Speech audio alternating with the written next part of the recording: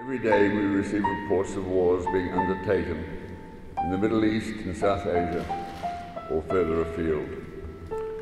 The human race does not need any help in going to war. It happens too often in too many places. And since the end of the Second World War, there have been innumerable wars involving Australia, involving Australian allies. And that is why commemorating this particular event is so important. Australia and Turkey, who fought long and hard in Gallipoli in the Dardanelles campaign, have learnt to make peace. As soldiers in that terrible and costly campaign, costly on both sides of the conflict, soldiers learnt to respect the enemy for his resolution, for his courage. But then, after it was all over, both Turkey and Australia believed that they should make special efforts to overcome whatever hostility may have existed between them and to establish a close and enduring relationship which has developed into a warm friendship. Both countries have worked at that and have learned to make peace, which is an example to all of us. So this is a time to celebrate.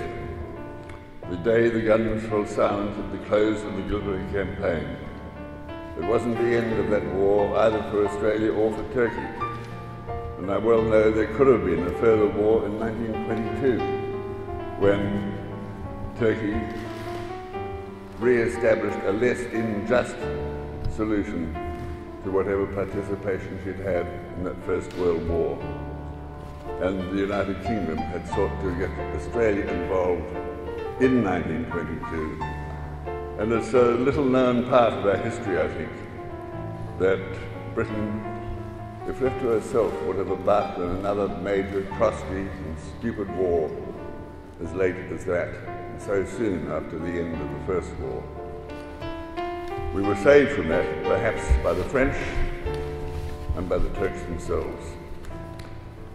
But it's a day to remember the courage, the self-sacrifice, the mateship of the soldiers involved on both sides, and the special place that that particular campaign holds in the minds and hearts of Australians.